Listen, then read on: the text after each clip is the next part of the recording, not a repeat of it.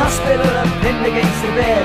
A stethoscope upon my heart, a hand against my head. The peeling off the bandages all puts me in the light. The nurse is looking anxious and she's quivering with fright.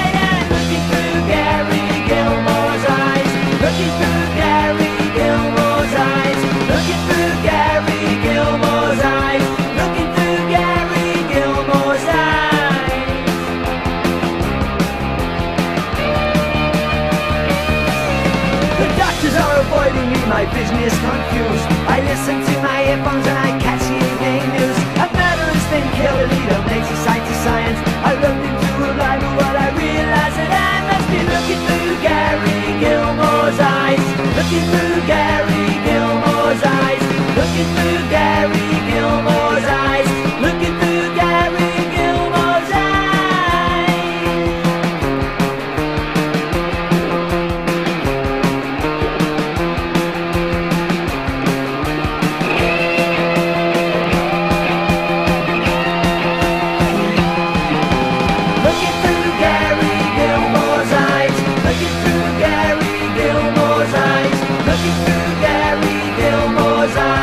Looking through Gary Gilmore's eyes. I smash in my anger, lose my foot against the door.